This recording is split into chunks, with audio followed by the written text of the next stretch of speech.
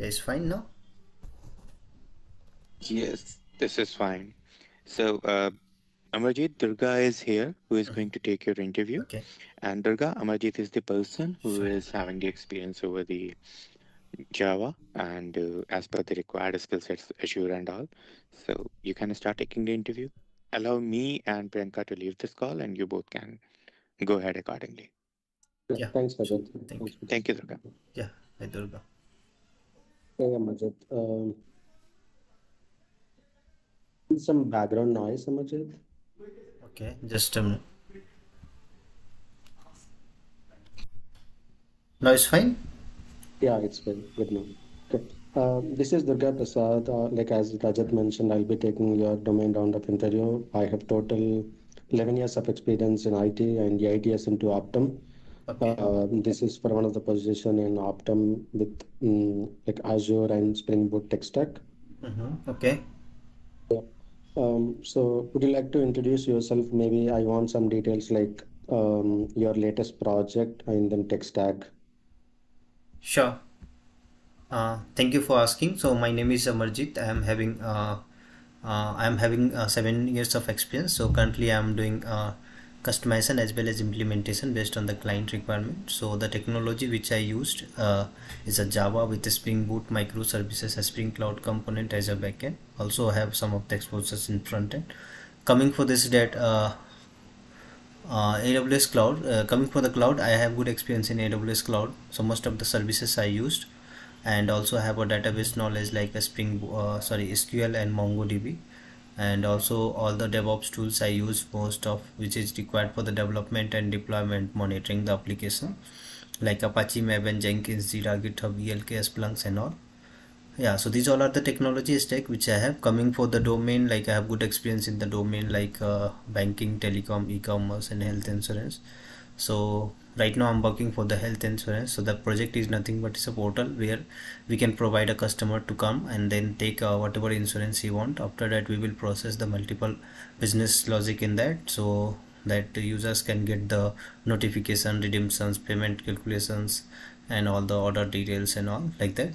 So mostly we are working for this microservices based architecture. So here we are following agile. So based on the agile whatever the sprint will be defined in that we need to develop a microservices applications. Uh, so my role and responsibility here like uh, on daily basis developing a microservices based application by using a spring boot and uh, java. And also while uh, we are uh, developing then we'll have uh, some third party communications and all call will be there that need to be communicate. So for that we used rest template and kafka for messaging queue and all uh, apart from this while we are developing the services and all in that cases uh, that will go for the different uh, deployment of multiple uh, environment. So while it will go for the production environment there we can check all the configuration detail whatever the changes happen from my side that we can surety for this deployment is going for the production so that our production deployment will go as smooth. Once deployment will completed then we have to check all the request response is coming proper or not.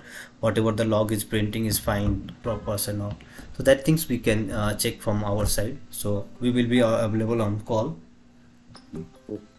Yeah so that mm, these all are the things we are doing on daily basis. Uh, you mentioned about Azure, but you are saying like you have experience on AWS, but uh, you mentioned in your resume that you have hands-on exper hands-on experience on Azure as well. Azure also I have Azure I have uh, some of the one years of experience in that but mostly in this AWS I'm uh, more than enough Azure experience so that's why I mentioned Okay, so Azure, what are all the services that you have used in Azure? uh, Azure which I used mostly as a mostly I used like uh, this one uh, event pub subs I used and then log log analytics I used and uh, uh, mostly these things mostly used for the event handler and uh, tracing the logs and monitoring that purpose I used Azure Uh, what do you mean by event PubSub? I mean, which service you are talking about? uh, in Azure have a like uh, pub publisher subscribers uh, what is the services name is there uh, while we are creating a event handler so we'll have a event based applications. Uh, we can handle through the Azure. Event based applications we can handle through while we are creating our web and all uh, publisher and subscriber. That we handle uh, the service. Exactly I'm not able to remind that one. Uh,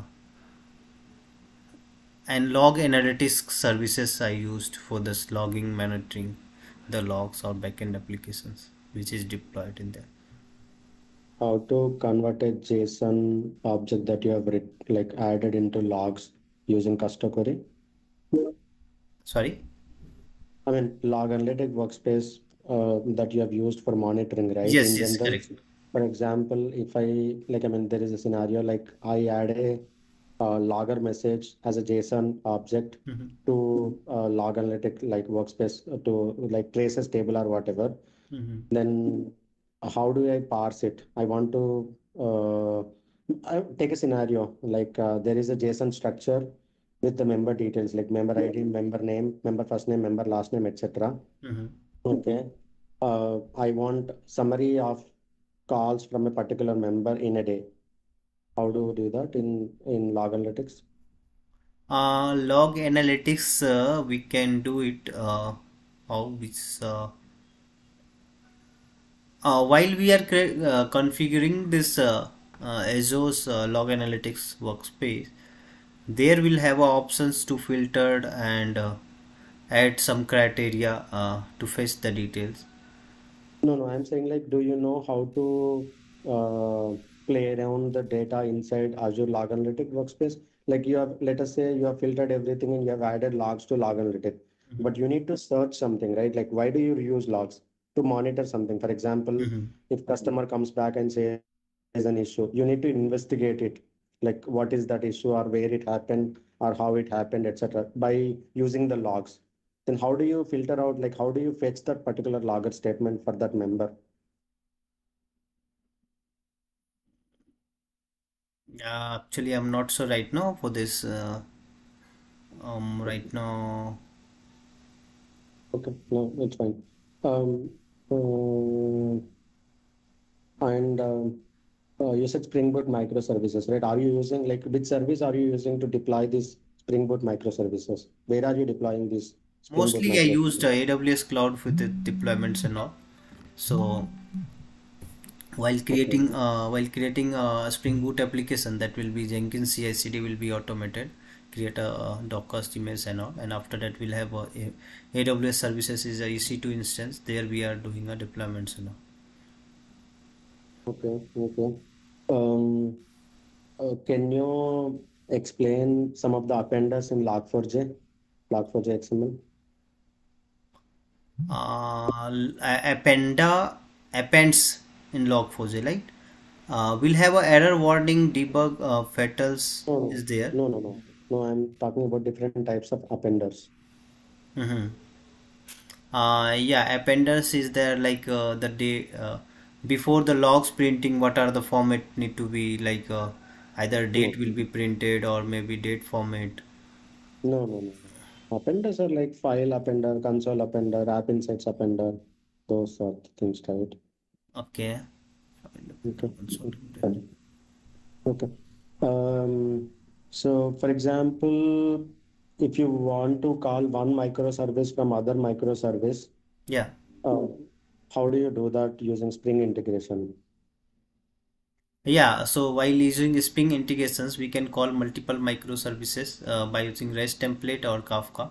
So REST template or REST web, web services will have a, uh, sync communications.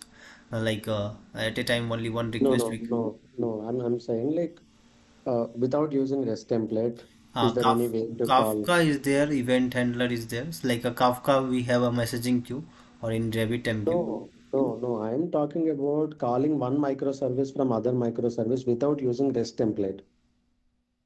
Okay, so How do you do message messaging queue is there. Uh, is that How do you use message queue to call one microservice from other microservice? Uh, we will create a cluster of Kafka and Mm-hmm. there uh, a, a other my one microservice will produce the data whatever the data is there coming based on the topic id and all topic Oh, I mean, I'm saying like in my scenario, let Mm-hmm. us say there is a service developed by some other system. You Mm-hmm. don't know who that is, or you don't know what is their logic or how they have implemented. They just provided you an endpoint. Okay. Okay. You need to call that endpoint by using the required data that need to be passed to that endpoint to get the required data back from that API. And I don't want to use REST template. What are the other ways that you can use to call that API? Web client, you know that uh, Spring Web Flux is a uh, providing as a web client uh, by using Mono and Flux we can do.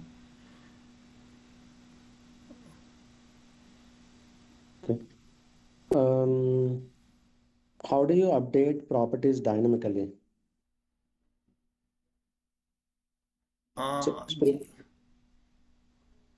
yeah, so in that cases, what will have a Spring Cloud configuration uh, services will be there. That service will have uh, store all the property file. So Okay. so that all the property file will be there. So suppose if you are doing any changes in your uh, in your uh, master file or uh, in your microservices. So they will call the property updations. If property has been updated then that will be or uh, uh, spring cloud config will be uh, update or maybe directly you can update also through the spring cloud config server also. And it will be refreshed automatically uh, on simultaneously without any restarting servers and How does it happen? Like how it happens without restarting? Like what technology are you, I mean, do you need to use, or what configurations do you need to use to reflect the properties automatically? Yeah, so in that, uh, while you are writing a Spring Cloud config server, so that server will have a property file. Then property file will have a auto refresh, uh, uh, auto refresh configurations which need to be enabled as a true. I mean, uh, that is Spring Cloud, whatever you are saying. But Mm-hmm. I'm saying that, for example, let us say your application is running with five pods or something. Mm-hmm. How the particular property gets updated into your five pods? Okay, five pods in now. Yeah. Mhm. Uh, we'll Uh, write a script for that. That automated script will be there, which will be update. Any update as updation will come, so they will uh, update all the. can you explain about the script? Like, I mean, how do you write or what script you write? Uh, uh, in a script, we'll write like, uh, or maybe we'll have a profiling also will be there based No, on the profiling will always profiling. be there. Hmm. Profiling will always be there. But like I mean, when you say script, how do you execute that script? I mean, what script you write? Like, what language you write? uh, language uh, will have a maybe I think Python or No, maybe you're some. guessing. You're guessing, or you know how to do that. To that. that I am not sure, but I am mostly. Okay. Okay. Okay. Um, if I have to call multiple microservices in parallel, Mhm. how do you do that? Like, how do I uh, achieve that? If I will call multiple microservice in parallel, okay.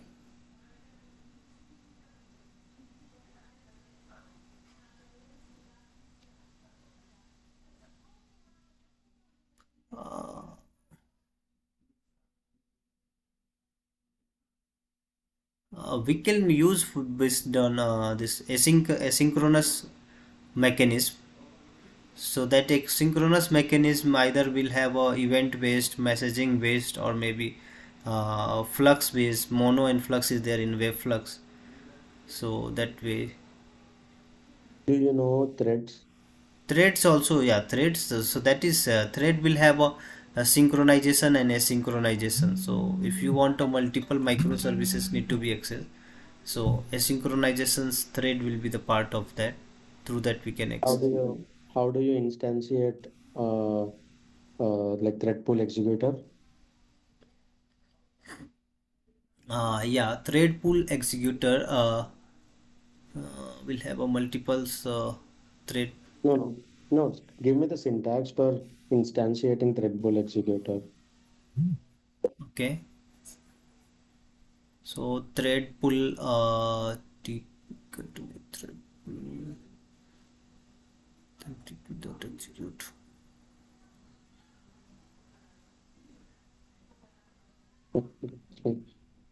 Um, uh, can you tell me some of the disadvantages with Spring Boot microservices? Uh, Spring Boot also have a multiple advantage and disadvantage are there. So disadvantage like uh, mm,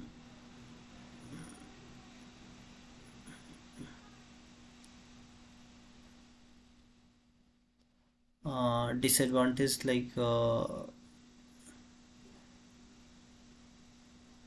uh, we will divide it into different different uh, scenarios or uh, business requirement with the different teams.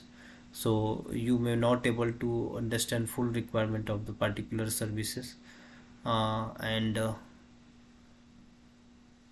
No, that that will be like internal to how do you manage, but in general, overall, if you go with Spring Boot microservices, like are there any generic and, disadvantages? Yeah, you are you are in the in terms of like functionality wise or something, yeah but that should be solved by within your com organization or something. But I mean, in general, if you go with Spring Boot microservices, hmm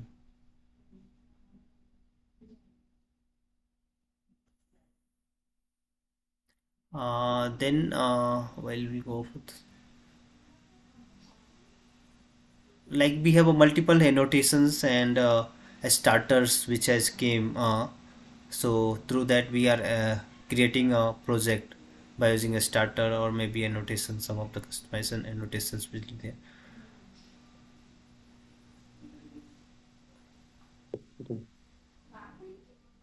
um, you do you know about actuator endpoints? yeah actuators endpoint will have a uh, to check the metrics of the applications will have a log trace and then health metrics and all so that we can check through the actuator while we configure actuator in microservice or a Spring application.